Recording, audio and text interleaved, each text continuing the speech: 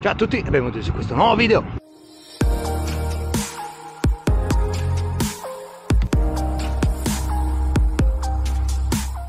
Parliamo un po' di Maratona delle Dolomiti.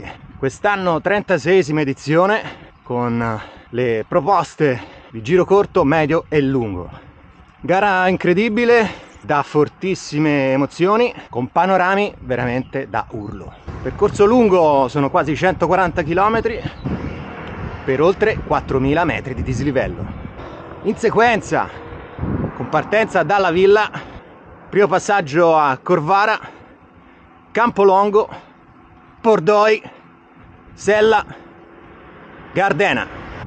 Si scende a Fiamma tutto Fo a Colfosco e dopo il secondo passaggio a Corvara, secondo passaggio sul Campolongo e poi invece di svoltare a destra si gira a sinistra. Per il lungo poi si va verso il Giau, passando per il colle Santa Lucia, uno dei punti probabilmente più sottovalutati di tutta la gara ed è necessario stare in gruppo altrimenti si sprecano tante energie e il Giau ve le farà pagare. Dopo il Giau la bellissima salita del Falzarego l'ultima punta del Valparola e il grosso è fatto. Quali sono i pro della manifestazione? Sicuramente l'organizzazione il fatto che chiudono completamente i passi.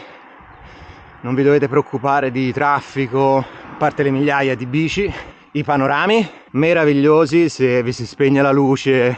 Basta voltare lo sguardo vedere le Dolomiti è qualcosa di incredibile. Il percorso non ho provato tante gare mi manca la Sportful mi manca Hotstaler ce ne sono diverse ecco.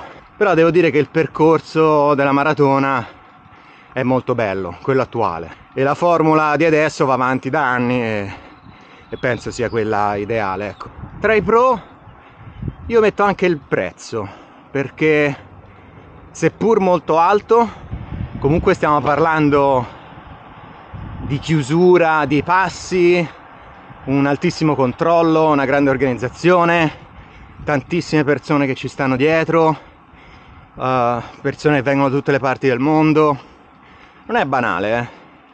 soprattutto se pensiamo che ci sono delle manifestazioni, degli eventi gravel, ad esempio, che non devi fare nulla di tutto ciò ed hanno un costo magari leggermente inferiore, quindi tanto di cappello e se fanno il pieno tutti gli anni vuol dire che la formula è quella giusta. Questo è uno dei miei giri preferiti da fare la mattina presto durante l'estate. Quindi cosa mettere tra i contro? Vi avevo detto prima che dopo il Valparola più o meno le fatiche erano concluse? Ecco più o meno perché alla fine della fiera c'è il mur del Jat. Il muro del gatto che è corto ma veramente tremendo soprattutto dopo tutto quel dislivello e quei chilometri. Spesso crampi darei forse la possibilità magari di, di evitarlo ecco. Si è visto panorami incredibili conquistato vette altissime tra cui il Giao quindi non, non occorre quello sforzo in più ecco. L'altro contro che mi viene da dire è un po' uh, sulle maglie soprattutto quest'anno. Ok che ci deve essere il tema ma le maglie femminili sono sempre più belle. Va bene eh? e la maglia maschile di quest'anno nera. Sarà che gli anni passati hanno sempre avuto un po' di colore. Il nero grigio nero mm, non mi convince. Poi ragazzi la green pocket.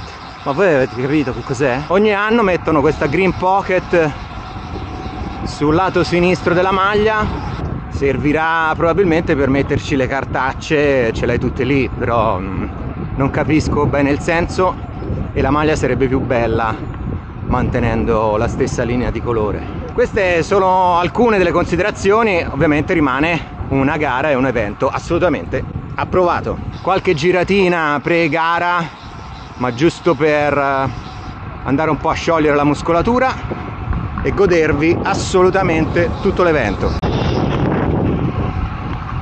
Che forse la cosa più bella è proprio l'atmosfera. Una festa della bici in cui tutti partecipano e sono tutti contenti di esserci. Altro consiglio è quello di idratarvi al meglio portare due borracce sicuramente. Io le uso da 750 ml e ve lo consiglio gel, barrette, banane, fermatevi ai ristori che è un'altra cosa che è necessaria. Magari non tutti eh, individuate quelli che vi interessano di più. Sicuramente quello prima prima del Jau e forse anche quello in cima al Jau almeno così ho fatto negli scorsi anni. E buona maratona a tutti. Come sempre iscrivetevi fate like commentate. Ci vediamo alla prossima. Ciao